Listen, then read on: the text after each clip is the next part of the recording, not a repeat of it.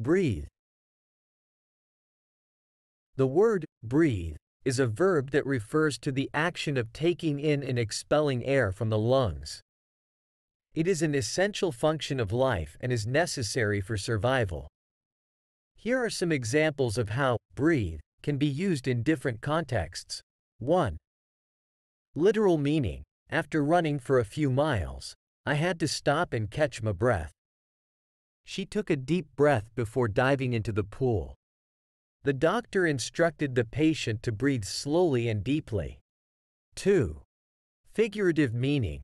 In times of stress, it's important to take a moment to breathe and calm down.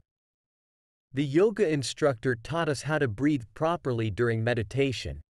The fresh air on the mountaintop made me feel alive and able to breathe again.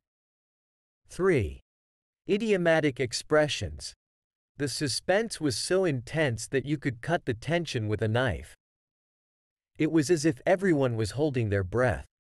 The news of her promotion made her feel like she could finally breathe easy. The actor's performance was so captivating that it took my breath away. In all of these examples, breathe is used to describe the physical act of inhaling and exhaling air, as well as the metaphorical and figurative experiences associated with relaxation, relief, and awe.